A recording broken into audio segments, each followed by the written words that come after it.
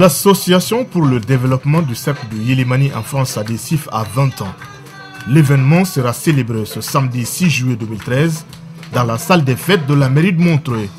Au programme, projection de films documentaires sur les 20 ans de partenariat, défilé de mode, conférence débat.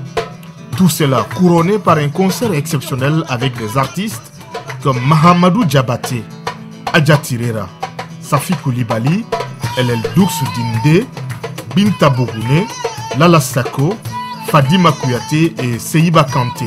Prendront part à cet événement le collectif des femmes élues de Yélimani, Madame Dominique Voinet, maire de Montreuil, Monsieur Razi Amadé, député de Seine-Saint-Denis, et son Excellence Boubacar Sidiki Touré, ambassadeur du Mali à Paris. Tarif unique 10 euros.